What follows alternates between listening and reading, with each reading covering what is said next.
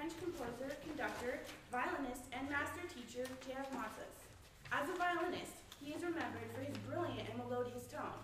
This duet will be played by Lydia and Rachel Pong.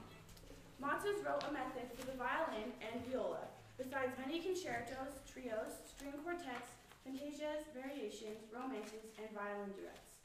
I hope you enjoy this duet.